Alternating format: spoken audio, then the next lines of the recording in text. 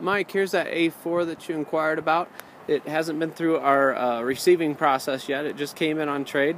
I'll get the next report from them, but uh, the car is still available, and uh, I'll get you more information as the day goes on.